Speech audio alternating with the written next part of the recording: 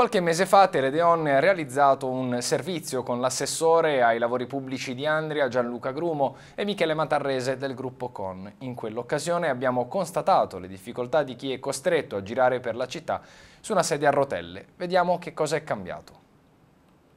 Assessore, che cosa è successo dopo il servizio realizzato con lei da Teledeon, eh, con lei e con il presidente del gruppo Con, Michele Matarrese? È successo che chiaramente abbiamo posto alla nostra attenzione ancora di più quelle che è la difficoltà di alcune barriere architettoniche che ancora insistono in città. Chiaramente negli anni sono stati posti in essere parecchi cantieri, parecchie opere,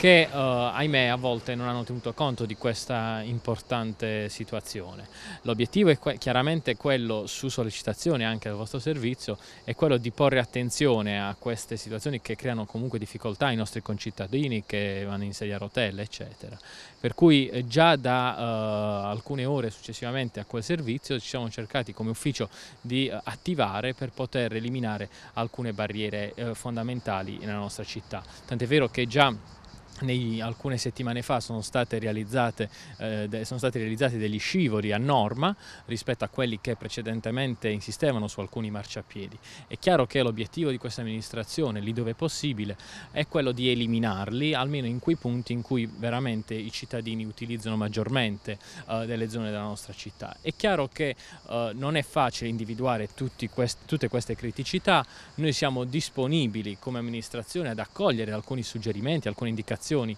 dalla cittadinanza per poter intervenire prontamente e eh, ovviamente rispetto a quelle che già sono state realizzate ce ne saranno altre gradatamente in base anche a una programmazione del settore. Quindi io ringrazio chiunque voglia collaborare in questo senso, veramente con uno spirito, nella massima serenità, con uno spirito di collaborazione, proprio per cercare di dare ancora una volta un'opportunità alla nostra città, cioè quella di una crescita nel senso civico, al di là di, poi, di quelle che sono alcune strumentalizzazioni, di quelle che sono alcune critiche inventate ad arte, a queste non interessano, non interessano appunto, a noi interessa soltanto crescere crescere anche educando i nostri figli a quelle che sono le regole principali del senso civico. Lì dove i cittadini si sentono protagonisti dell'attività amministrativa e intervengono con proposte serie e soprattutto realizzabili, l'amministrazione penso che al di là di quelli che possono essere regolamenti o norme si attiva proprio perché l'obiettivo del bene comune è quello che noi abbiamo a cuore, per cui io penso che in questo caso vada a calze a pennello questa situazione, quindi